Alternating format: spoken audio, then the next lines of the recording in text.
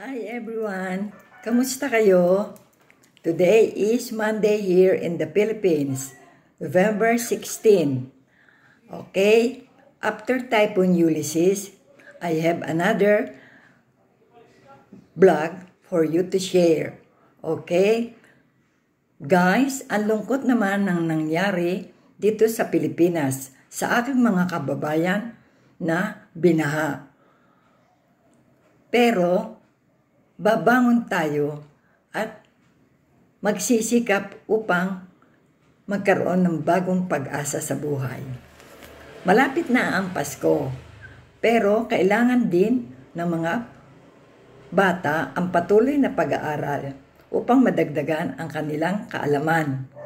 At ako ay may inihandang bagong aralin sa kanila, ang pantig na may tatlong titik.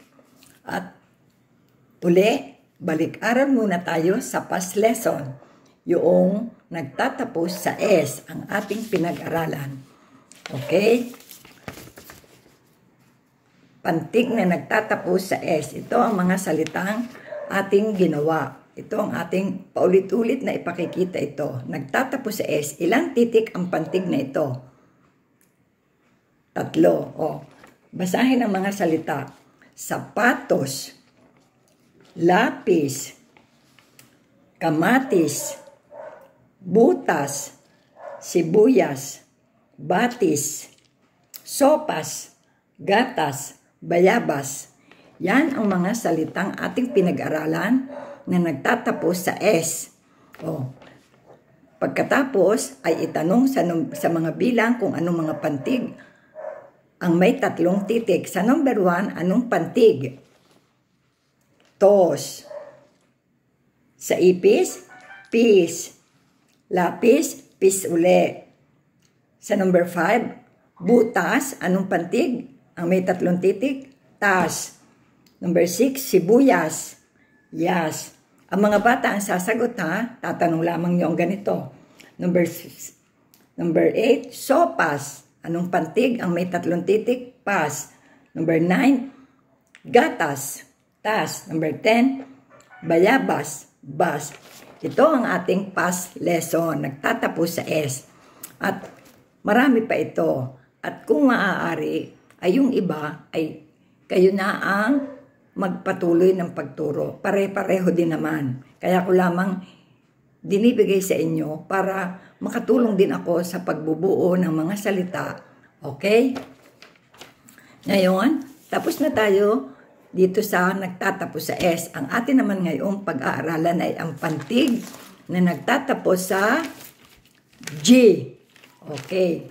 O, papakita lagi ang mga pantig. Bag, tag, mag, lag, wag. At yung pang ibang pantig, inyong ituturo. Kaunti lamang ang akin o mga sample. Kaya yung bag, Tuloy-tuloy ang pagbasa bag, beg, big, bog, bug.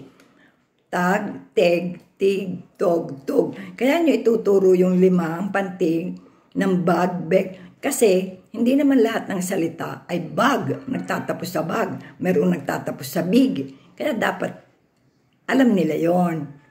Ganon. Pagkatapos ng pag, pag, pagbasa ng mga pantig at paulit-ulit, oh, ay magbubuo na tayo ng salita. Katulad nito. I, i, log. Oh, alin doon ang pantig na may tatlong titik? Log. To, big. Big. Do, wag. Anong pantig? Ang may tatlong titik? Wag.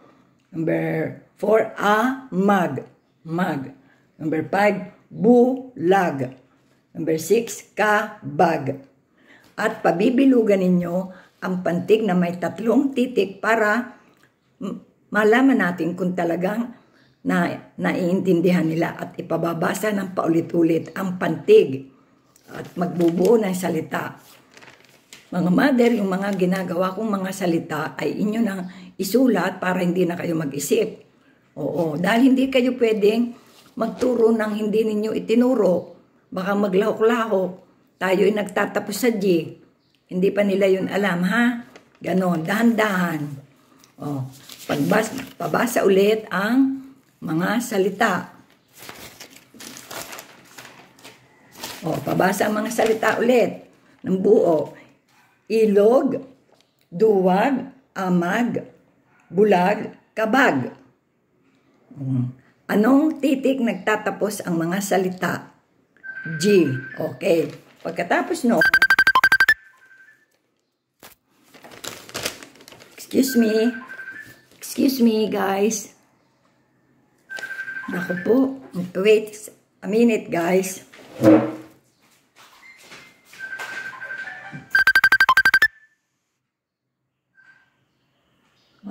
Nagbablog ako.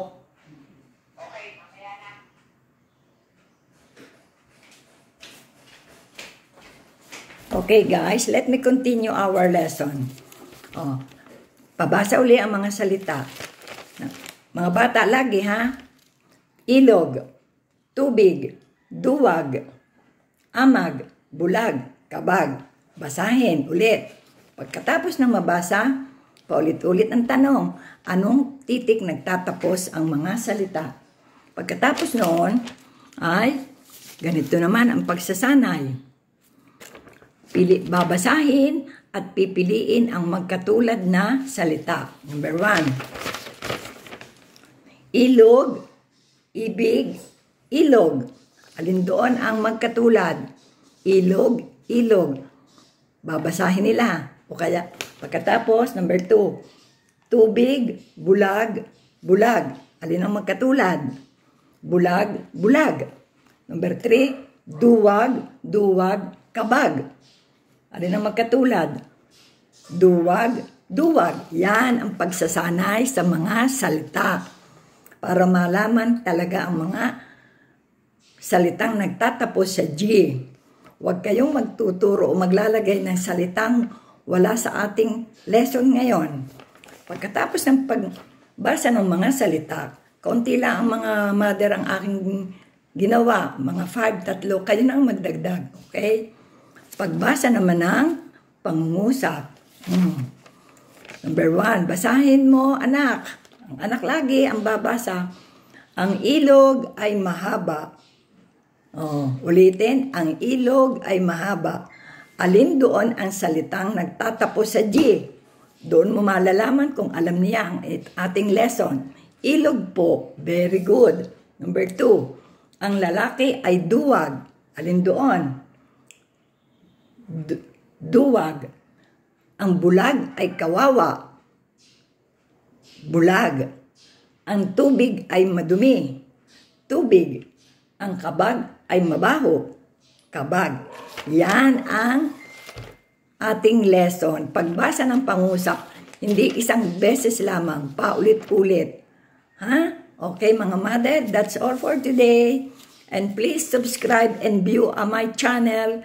Okay? Malapit na ang Pasko at sa Christmas break, no tutorial guide si mother, si teacher. I will give some new blog.